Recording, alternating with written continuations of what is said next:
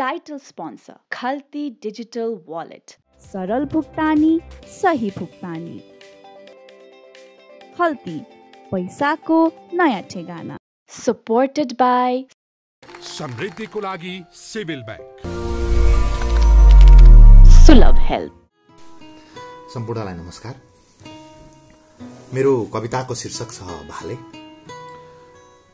यो कविताको रचना गर्वको कुरा गर्नुपर्दा यो मेरो समाजले गर्वपतन गर्न भुलेका सम्पूर्ण लक्ष्मीहरूप्रति समर्पित कविता हो। कविता यसरी सुरु हुन्छ। बन्द कोठाको चार दिवारभित्र एउटा दम्बसँग एउटी कुण्ठा सुत्छे। मैथुन हुन्छ। एउटा रिस जन्मिन्छ एउटी घृणा जन्मिन्छ।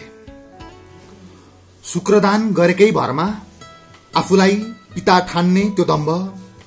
भट्टीको आँसुको आडमा तेरो बाउको खाएको छु भन्दै चड्काउँछ एउटी गर्भवतीलाई।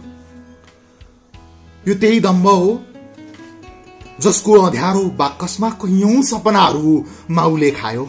दससम्म पढ्ने छोरीको सपना बाउले खायो गाउँमै स्कुल खोल्ने छोराको सपना खाडीमा जाऊ कमाउले खायो। अनि एक वचन मिठो सुन्ने श्रीमतीको सपना गर्जिने त्यो घर पालुवा हाउ बुझी हाउले खायो। अनि त बाँकीको जीवन उसकै रङमा बिताउँछु भन्ने सङ्गिनी। उसको जीवनको हिस्सा हुन सकिन। आठ साहस र हिम्मत हुन सकिन तब परिवर्तन भयो कुण्ठामा।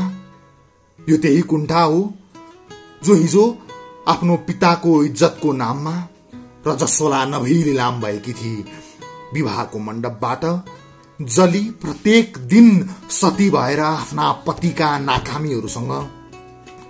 साथमा मलामी हुन्थे। उसका राता रङका इज्जतका चाहनाहरू हरिया रङका सम्बन्धका चक्रहरू र तिनै मलामीहरू जो उसलाई बोक्सीको आरोपमा डाम्दा साक्षी थिए। दाइजो कम भएकोमा जलाउँदा दर्शक भए। अनि त अनि त उसले जन्म दिई भविष्यको एउटा दम्भलाई रिसको रूपमा। यो त्यही पुत्र हो यो त्यही पुत्र हो जसबाट समाजको एउटै मात्रै आशा थियो कि बस ऊ जन्मियोस् धन्यवाद।